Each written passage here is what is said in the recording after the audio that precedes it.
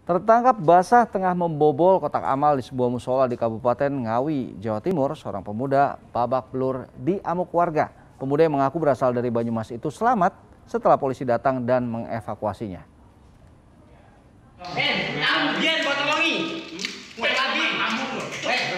Mas, mas, mas, mas, mas, mas, sabar mas, mas, sabar mas.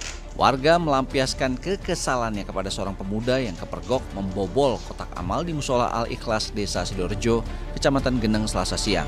Sejumlah warga luapkan emosi kepada pelaku. Beruntung polisi datang yang langsung mengevakuasinya ke Mapolsek Geneng.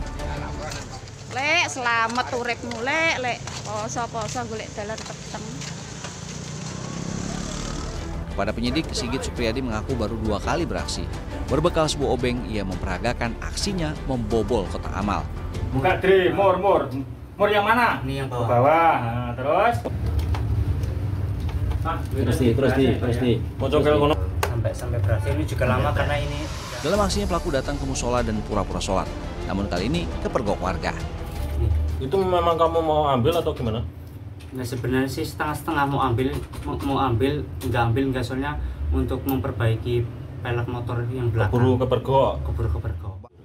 Ini baru kedua kalinya yang pertama di sidoarjo itu dulu juga apa ininya udah kota amal juga? Kota amal udah terbuka saya ambil uangnya.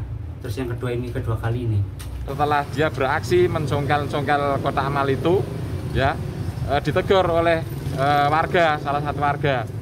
Eh, sedang apa di situ Eh, dia menjawab sedang membenahi kotak amal nah ini kan eh, tidak benar ya tidak masuk akal gitu Penyidik menjerat pelaku dengan pasal percobaan pencurian dan menyita sepeda motornya.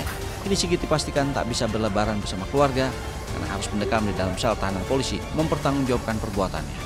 Dirgo Suyono melaporkan dari Ngawi, Jawa Timur.